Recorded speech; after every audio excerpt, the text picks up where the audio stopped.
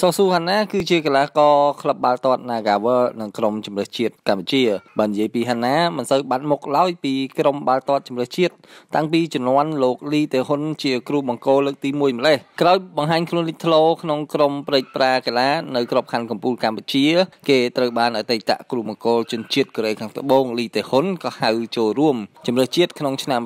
2011និងធ្វើការជាមួយគ្រូបង្វឹកជាច្រើនដូចជាលោកហុកចិត្រា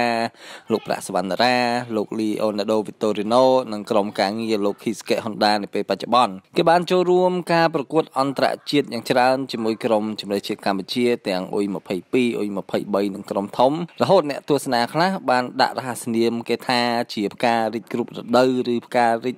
បាំងស្លឹកជាដើមបើនិយាយពីលើទីលានវិញកីឡាករមានកំណើតនៅសង្កាត់ព្រែកប្រាងខណ្ឌច្បារអំពៅមិនខ្ជិលទេ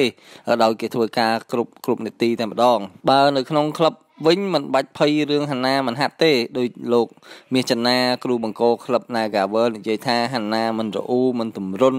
មិនសូវចេះនិយាយដឹងតែពីការហាត់និងប្រកួតនិយាយរួមទៅហាណាគឺជាប្រភេទកីឡាករដែលធ្វើការខ្លាំងដោយការប្រកួតចាញ់អិរ៉ាក់អញ្ចឹងក៏លេងដល់ទៅពេញ90នាទីប៉ុន្តែបើនិយាយពីប្រជាប្រិយភាពវិញហាក់មិនសូវមានព័ត៌មានច្រើនពីកីឡាករវ័យ29ឆ្នាំរូបនេះទេជាក់ស្ដែងម្ចាស់គណនី Facebook ឈ្មោះប៉ាត្រីនិយាយថា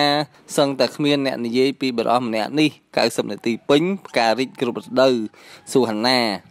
ចំណែកគណនីឈ្មោះសៀមវិសាលនិយាយថារត់រហូត តែមិនមានអ្នកមើលឃើញ